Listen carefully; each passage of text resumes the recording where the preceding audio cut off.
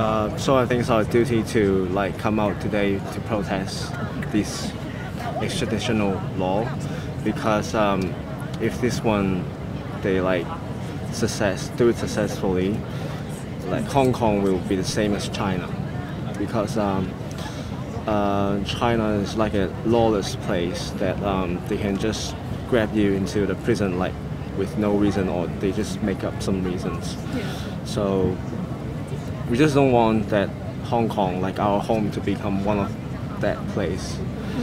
So I think we must come up today or every day to like try to protect our home. Just try our best to Yeah. do at least something Yeah. to avoid this law to pass. Yeah.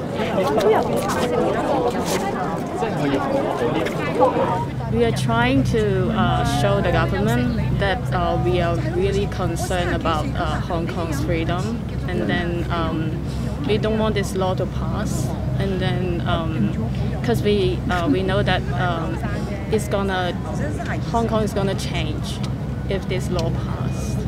No matter like you're standing in the front line or you're sitting here, we just want to like try to make a stand here that we support Hong Kong people, but not the government to make this law. I think freedom and uh, everything that uh, makes Hong Kong beautiful. Yeah. Different with China. yeah. uh, China has been trying to, not trying to, they actually did like take some people from Hong Kong back to China without noticing any of us. And um, we think this a serious violation. And that's why we're standing here to prevent any of that to happen again.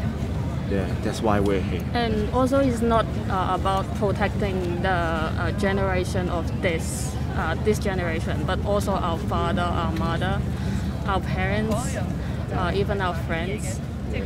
Yeah, because um, we are actually uh, very close to China, and that's a really, really um, Dangerous. dangerous thing.